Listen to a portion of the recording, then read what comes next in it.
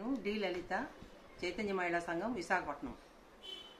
మిత్రులారా భీమా కొరగా కేసులో అరెస్ట్ అయిన పదకొండు మంది మేధావులు ని వెంటనే బెయిల్పై విడుదల చేయవలసిందిగా చైతన్య మహిళా సంఘం డిమాండ్ చేస్తున్నది.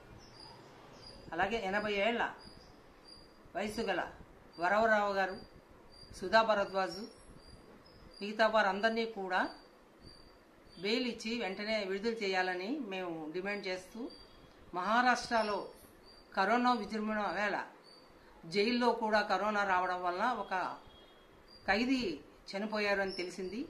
అందువల్ల అరవై ఐదేళ్ళ వయసు వాళ్ళని బయటికి రావద్దని ప్రభుత్వాలు విజ్ఞప్తి చేసినప్పుడు జైల్లో ఎనభై ఏళ్ళ ఉన్న వృద్ధుల్ని వెంటనే విడుదల చేయవలసిందిగా కూడా మేము డిమాండ్ చేస్తూ అలాగే తొం ఎనభై పర్సెంట్ జిఎన్ సాయిబాబా నాగపూర్ జైల్లో ఉన్నారు.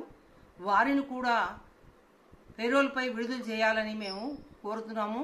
వాళ్ళ అమ్మగారికి క్యాన్సర్ వ్యాధి ఉండడం వల్ల వాళ్ళ అమ్మగారు తన కొడుకును చూసుకోవాలని కోరుకోవడంతో మహారాష్ట్ర ప్రభుత్వానికి విజ్ఞప్తి చేస్తుంది ఏంటంటే ఆయన్ని పెరోల్ ఇచ్చి విడుదల చేయవలసిందిగా మేమందరం కోరుతున్నాం.